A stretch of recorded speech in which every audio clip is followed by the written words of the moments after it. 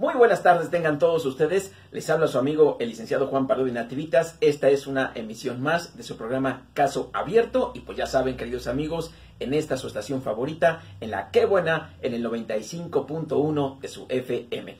Y bueno, pues queridos amigos, hoy vamos a platicar. Eh, hay muchas, muchas cosas que comentarles. Sin embargo, bueno, pues conforme van llegando los asuntos a la oficina y además me parecen muy interesantes, pues es precisamente como se me viene la idea de que, ah, ya sé qué voy a platicar en el programa. Fíjense ustedes que constantemente aquí les platicamos en referencia a que cuando ustedes compran un terreno, pues traten de hacer un contrato eh, en la medida correcta, y yo creo que algunas personas allá en casita, algunos de ustedes, pues pretenden precisamente hacer eso y precisamente me encontré con que algunas de ustedes han acudido con las autoridades, digámoslo así, municipales de sus respectivos eh, lugares, con famosos jueces menores. Fíjense ustedes que precisamente eh, hace muchos años, porque ya sí ya tiene algunos años, existía la figura del juez menor en todas las regiones. El juez menor de Chignautla, el juez menor de Teciutlán, el juez menor de San Juan Chutetelco y de bueno, de toda nuestra región. Eran realmente, eh, queridos amigos, jueces de paz. Jueces podían conocer de asuntos muy pequeños. Por ejemplo, si te robaban una gallina, ¿cuánto podía valer? Me acuerdo que la última eh, ley orgánica que precisamente eh, abordaba a este tipo de jueces, imagínense, podía conocer hasta de asuntos de 200 pesos.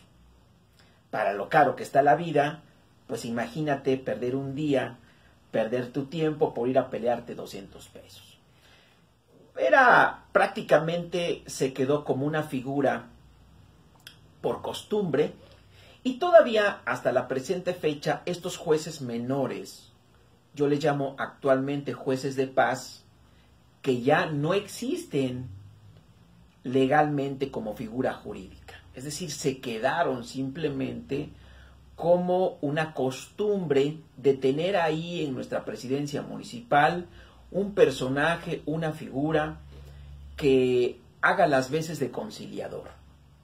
¿Qué significa? Bueno, pues que como nosotros en el pueblo, la ciudadanía no sabe realmente cuáles son sus facultades de estas personas, bueno, pues de buena fe, cuando vas a quejarte de alguna situación que no es muy grave, bueno, pues te manda una invitación.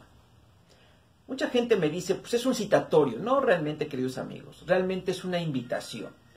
¿Cuál es la diferencia entre citatorio y, e invitación? La invitación, queridos amigos, yo les digo a nuestra gente que nos visita, es como cuando te invito a los 15 años de mi familia.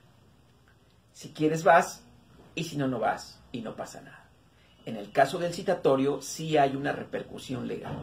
Bueno, ahí está, hay algunas diferencias. Bueno, en el caso de los llamados todavía jueces menores, bueno, pues insisto, son simplemente figuras ahí que se quedaron y que todavía algunos municipios conservan, principalmente, y me he dado cuenta que para hacer contratos. Mucha gente acude con ellos para que se hagan contratos provisionales privados de compraventa de terreno. Y como yo aquí en el programa les insisto constantemente de que cuando tú compras un terrenito, pues no lo hagas de manera verbal, no lo hagas nada más a la palabra, o no lo hagas nada más en una hojita de libreta, porque pues te puede traer consecuencias de que al ratito tengas problemas para exigir el cumplimiento de ese contrato. Y normalmente te digo, te aconsejo que lo hagas por escrito. Bueno, fíjense queridos amigos que el ejemplo que les voy a poner en este momento es un ejemplo precisamente de que en lugar del contrato te ayude, te está perjudicando. Porque me llevan un contrato esta semana en el que esta señora cree que hizo lo correcto y precisamente acudió con uno de estos jueces menores de la región para que se hiciera su contrato. El problema fue que quien le vende el terreno es la viuda de la persona que ya falleció. Y ella, como tal, vende una fracción, le llaman un lotecito, ¿verdad? Pero, obviamente en el contrato, ella no debió de haber vendido.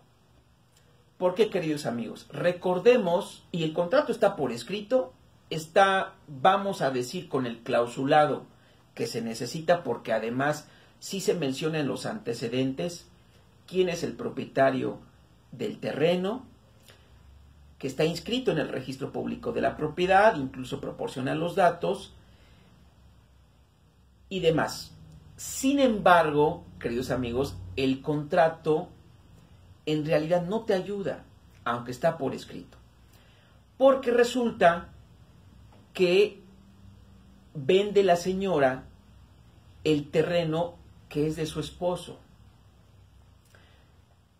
Sin embargo, no se ha hecho el trámite de la sucesión intestamentaria precisamente para que ella tuviera ya un documento que la ampare que ella puede vender.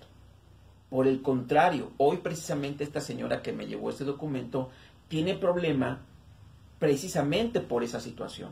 ¿Qué fue lo que sucedió? Bueno, queridos amigos, cuando una persona fallece, no significa que aunque haya estado casado o haya estado viviendo en concubinato, la esposa o la persona, pareja que sobrevive al a su fallecimiento, tenga toda la capacidad para poder vender. Por el contrario, acuérdense que les he platicado en este programa que al fallecer la persona, fallece ella, pero sus derechos, sus obligaciones, sus propiedades, sus deudas, quedan en esta vida. Se quedan para sus herederos. Y el problema es quiénes son sus herederos. Si es legalmente, recordemos que la herencia pasa a los hijos, no a la esposa, no a la concubina no al hijo mayor, no al hijo menor, no al hijo del medio, todos por igual. De tal manera que hay que considerar que cuando una persona fallece, tentativamente son los hijos los que tienen el derecho a poder hacer el trámite hereditario y una vez que se publiquen edictos, una vez que se notifique a todas las personas que se pudieran considerar que tienen derecho a esa herencia, porque no sabemos, imagínense, si esta persona al fallecimiento tuvo otra esposa, tuvo otros hijos, si realmente los, eh, los reconoció como hijos. Muchas veces sabemos que es nuestro papá, pero nunca se presentó al registro civil a aceptar que era mi padre. Entonces esos documentos pudieran tener ahí problemas. Una vez que se hace todo ese procedimiento, queridos amigos, incluyendo la llegada del informe del Archivo General de Notarías para ver si la papá o mamá que falleció dejó testamento o no, precisamente hay una resolución en el que el juez termina declarando quiénes son los que se presentaron y de esos que se presentaron, quiénes son los que realmente tienen derecho a la herencia. La esposa hereda como un hijo más, pero obviamente hay en esa declaratoria, en esa sentencia que dictó el juez, debe de expresarse finalmente quiénes van a quedar como herederos. Y si aquí, queridos amigos, en el ejemplo que les estoy platicando, hay cinco hijos y aparte la esposa, fíjense, si se tenía que vender un terreno o un lote, tenían que firmar los seis. Solo firmó la mamá. Entonces, ese contrato es nulo, porque acepté que me vendiera quien no tenía derecho a venderme.